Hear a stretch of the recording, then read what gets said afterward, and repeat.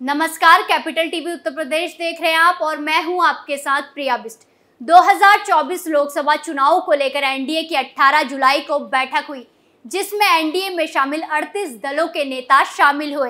इस दौरान पीएम मोदी ने अपने संबोधन में एनडीए के दलों को विश्वास दिलाया कि 2024 लोकसभा चुनाव में एनडीए का वोट शेयर बढ़ेगा वहीं सभी दलों के साथ साथ एनडीए की बैठक के बाद यूपी में बीजेपी के सहयोगियों ने भी पीएम मोदी पर भरोसा जताया। क्या कहना है सहयोगियों का? देखिए इस रिपोर्ट में।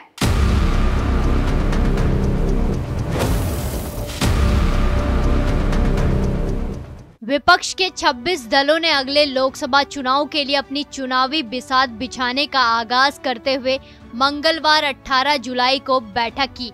तो वहीं दूसरी ओर दिल्ली में एनडीए के 38 दलों की भी बैठक हुई। इस बैठक के बाद यूपी में बीजेपी के सहयोगी दलों की प्रतिक्रिया सामने आई है।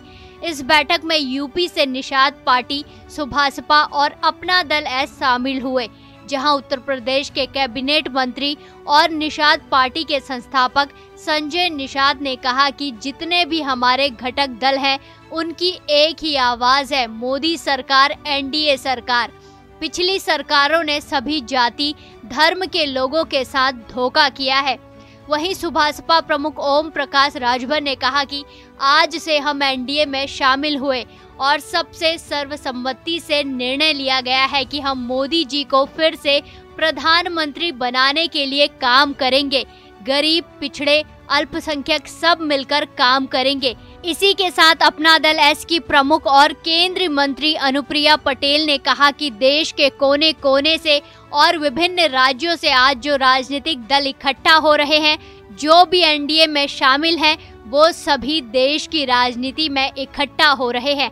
हम एनडीए की एकजुटता का संदेश देश में देंगे।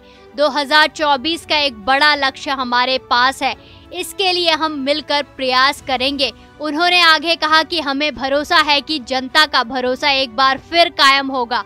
फिर से और भी मजबूती के साथ एनडीए की सरकार पीएम मोदी के नेतृत्व में बनेगी। सीट शेयरिंग का कोई एजेंडा आज की बैठक में नहीं है। इसके लिए हर दल अलग से बीजेपी के साथ बैठक पर चर्चा करेगा। हर राज्य की अपनी अलग परिस्थितियाँ होती हैं। बता दें कि यूपी से एनडीए के सहयोगी दलों के कई नेता इस बैठक में शामिल हुए थे।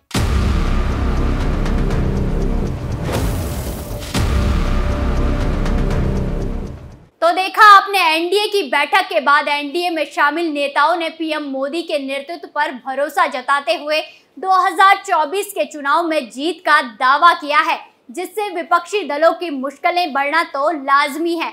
इस खबर में फ़िलहाल इतना ही। देखते रहिए कैपिटल टीवी उत्तर प्रदेश। धन्यवाद।